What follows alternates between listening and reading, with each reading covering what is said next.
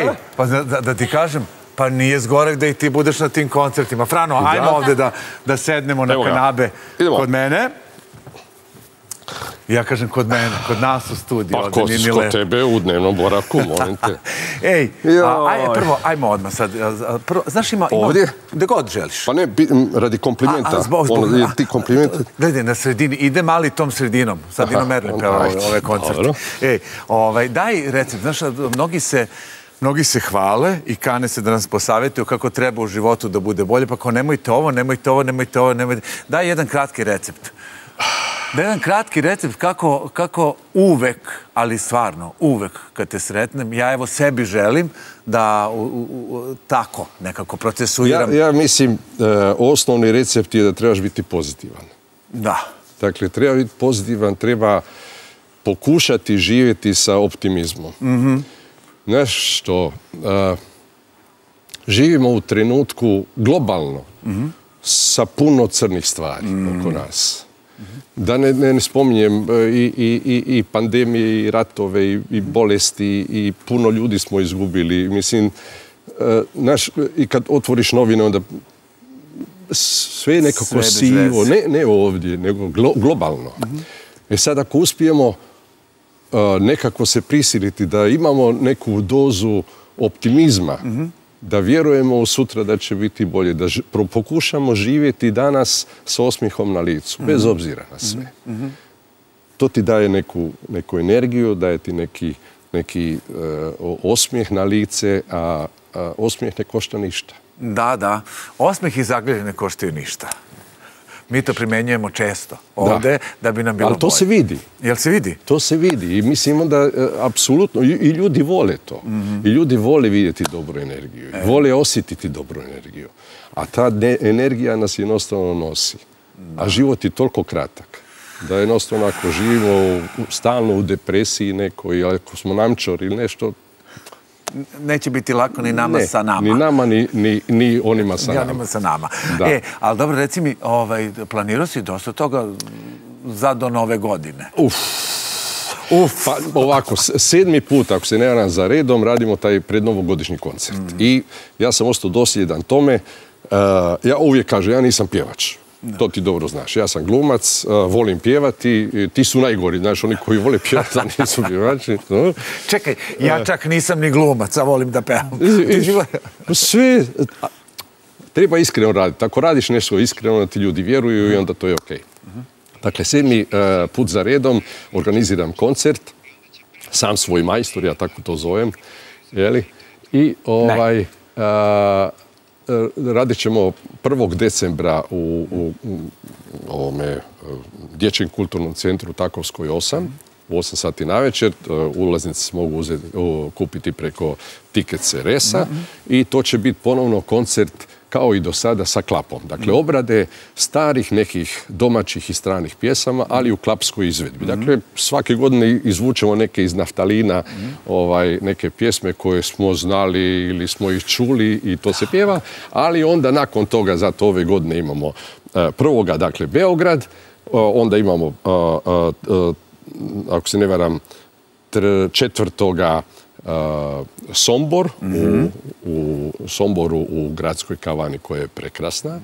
Pa onda imamo petoga u Novom Sadu, u svečanoj dvorani Nisa, također u 8 sati.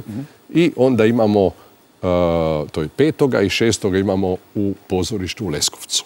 Ja, bravo. Čekaj, ja znam da je tebi, gledaj, ja znam da je tebi, bit, mislim, vidim i po ovoj komunikaciji bitan taj kontakt, taj, Za- taj kontakt da. sa publikom. Ja ne znam, mene da ti staviš u ne, neku veliku prostoriju, ja ne, ne znam, ne, kako bi komunicirao. Bio bi ko Kad sam u kući. Ne znam, pa kako, meni je drago s tom razgovarati se, Apsolutno, vidimo se i onda je sasvim druga priča. Je li? E, Najviše volim pozorišta, naravno. Mhm. Manje prostore gdje ti možeš vidjeti ljudi, gdje možeš vidjeti reakciju ljudi, gdje oni mogu mahnuti, ti mahneš. Dakle, mislim da je to vrlo... E, ha, ha, ha. E, a, Što je ovo? ob, To je klapa. sinagoga. Ta, ta, ta, neka, ne, neka klapa. Neka o- o- klapa. Svi su, pazi, svi su, svaki ima svoj posao. Jedan je dizajner, jedan je, ima studio, jedan je p- profesor e, na školi, jedan je arhitekta i tako dalje. ali svi se znamo onako cijeli život i družimo se i privatno i onda je tako iz te neke privatne ovaj, privatnog druženja ovaj arhitekta. Znači, ovaj, iz tog nekog privatnog druženja je došlo do ideje da napravimo ovako nešto. Da, klapa koluri, Krapa koluri. Jel tako? E. Jel- jel- jel- ja to razumem sad, taj koluri, Koluri, boja. boje, E, jel tako? Šarenilo. Šarenilo. Ovaj, I čini mi se da nekako ta, ta, ta mirnoća i taj senzibilitet muzički je ono što nam nedostaje ovde. Ba, e, nekako, ja imam stalno osjećaj da nas nekako te pjesme vraćaju u, u neko možda bezbrižnije vrijeme, da tako kažem. To bez- bezbrižnije mislim na, znaš, danas smo svi, tehnologija nas je totalno ovako Da, da, poklopila. poklopila. Da. Nema, kako bi rekao, nema više ne znam, sretnu novu godinu ili sretan rođendan ti želim pa pošalješ dopisnicu sa markicom. Nema toga više. Tako je. Ne, ne- nije to žal za nekim prošlim vremenima, ali je činjenica. Ti danas pošalješ SMS koji ti dobiješ, zahvališ ili ne zahvališ i taj se SMS izbriše nakon nekog vremena eventualno. Tako je. E, pismo je papir, knjiga je papir. Kad su meni rekli, joj, imaš divnih knjiga na, na, ovome, e, na, e, na, mm, elektronski da se čita. Ja jako volim čitati knjige i volim taj šum stranice, volim miris papira.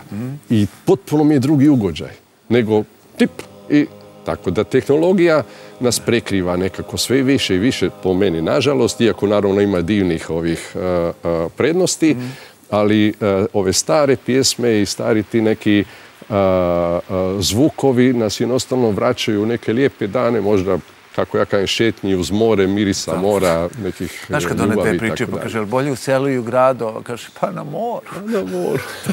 e, a dobro, ići ćeš po Novom Sadu i to, to je nekako taj teren koji klape, ali kad dođeš u Leskovac Da. i kažeš da je sad muzički kad začeprkaš, pa čak i sa klapom na sve ono što ljudi vole, kako ćeš tamo?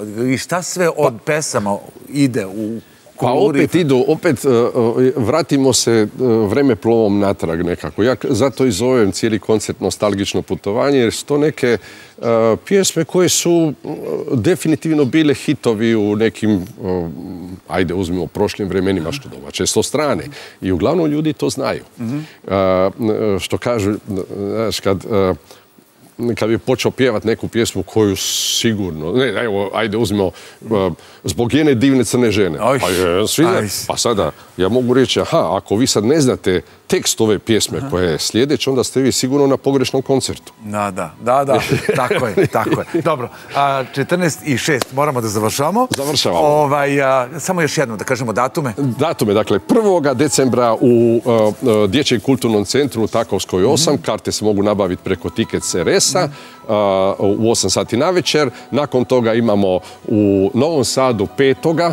isto u 8 sati na večer u uh, svečanoj dvorani Nisa i imamo četvrtoga u uh, Somboru, u gradskoj kavani i također u 8 sati u Leskovcu u pozorištu i to će biti šestoga. Boško, Da ti kažem, neko rose u podne, nego bre, kao, kao, kao najbistrija izvorska voda. Želim ti puno sreće. Svako Hvala ti dobro i puno tebi. što si, što si bio sa nama.